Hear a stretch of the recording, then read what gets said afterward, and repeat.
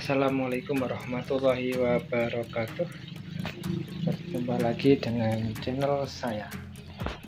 Di video kali ini kita akan melihat Kondisi tanaman lombok Yang kebetulan tanaman ini Ditanam di dekat rumah tempat tinggalku.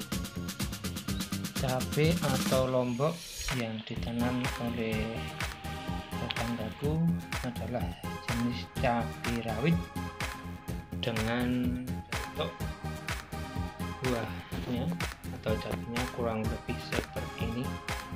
Dan kelihatan cabainya sangat bagus sekali karena perawatan yang bagus dan luar biasa.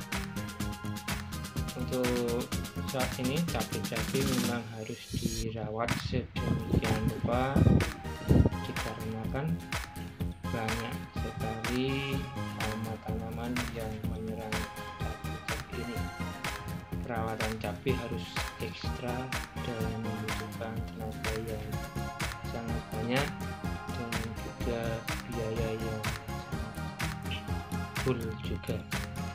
Akan tetapi nanti petani kita akan mendapatkan hasilnya apabila harga tanaman cabai itu sangat tinggi sekali sehingga dari petani akan mendapatkan hasil yang cukup lumayan.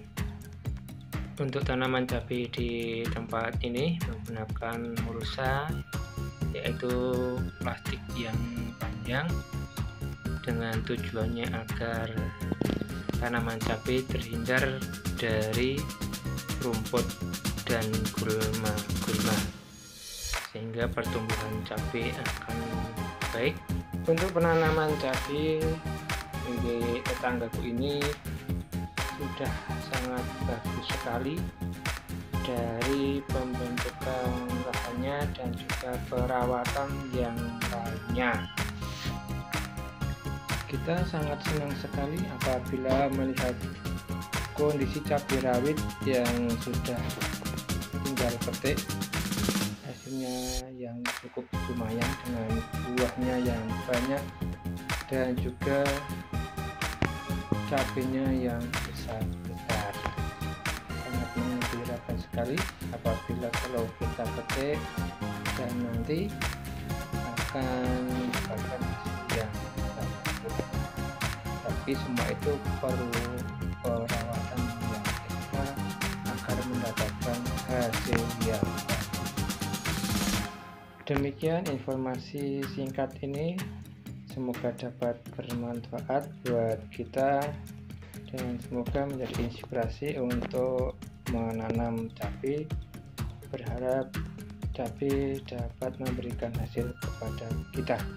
Terima kasih dan semoga bermanfaat.